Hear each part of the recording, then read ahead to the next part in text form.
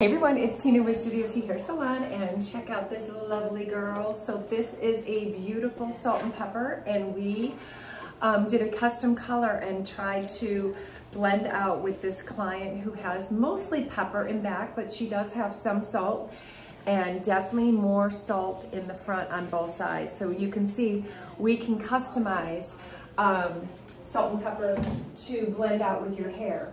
This, um, I will say the one limitation is we're not gonna be able to get bright, bright white, snow white hair, but we can get it, we can get it where it's looking pretty salty. You know, there's a little bit of a gray hue to it. So this is a medium topper, which measures three by six and pressure clips is what helps secure.